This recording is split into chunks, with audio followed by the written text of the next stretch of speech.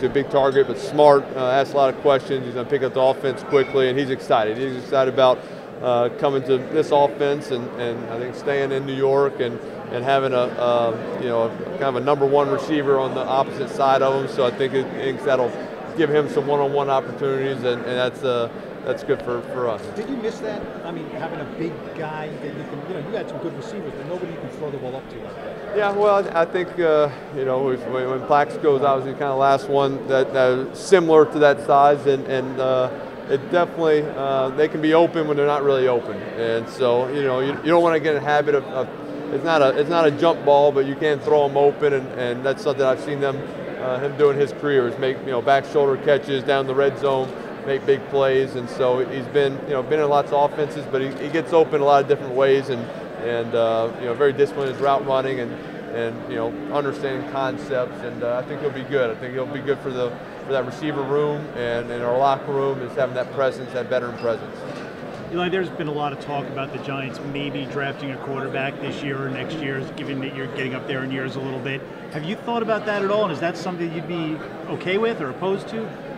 Yeah, you know, whoever they need to draft, I think you know that's going to help out the team, and, and whether it's for this year going forward, I'm fine. You know, we, we uh, you know drafted a quarterback four years ago with Ryan Nassib, and, and uh, so I know that's that's part of it. You're going to draft quarterbacks who get drafted, and, and uh, hey, I got my job to do, and I got to go out there and do it. And uh, ownership and management have their job to, to draft the best players and, and looking you know looking forward to the future. So uh, understand that's part of it. Would it be awkward at all if there was a guy that you know like a first round pick who obviously was thought of as maybe your replacement that you had to work with? Uh, no, I think uh, you know we've always had healthy healthy relationships with all the quarterbacks. You try to help each other out and communicate, and and so um, you know I, I, you know look forward to working with the guys we have there you know, right now, and, and Geno and Josh, and, and so they, they, you know, we'll see what happens on draft day. I can't imagine you ever thought in your wildest dreams that sharing a quarterback with Geno Hey, you never know. You never know in the NFL. So uh, I've got, you know, uh, met Geno a few times uh, over the years, and I think he is a talented quarterback, and, and um, you know, uh, so look forward to getting with them uh, in a few weeks and and uh, helping him out, helping him learn the system, and and uh, it's always fun. I think uh, it's fun for me to have new guys and young quarterbacks, and, and uh, you know if I can if I can teach it, uh, the system means I know it really well, and so I think it's a, a, great way for me to continue to grow and learn. How things going too this week? It went great. We had great work. Had a lot of guys down there, and uh, you know guys, uh, some new guys who obviously who were just learning.